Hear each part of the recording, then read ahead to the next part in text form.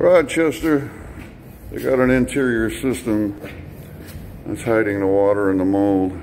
Anyway, here's where they just moved in. Uh, this area was recently painted. You can see some efflorescence. They've seen damp spots right here.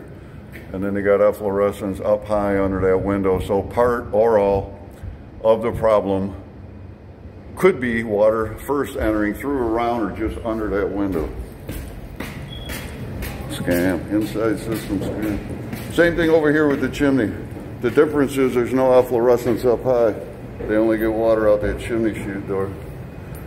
So I'm gonna run a water test from ground level down in both of these areas.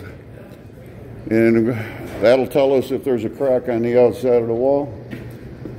So if it leaks when I do that, they will need waterproofing only in that area. If they don't leak when I do that, the openings, the problems will be above ground level.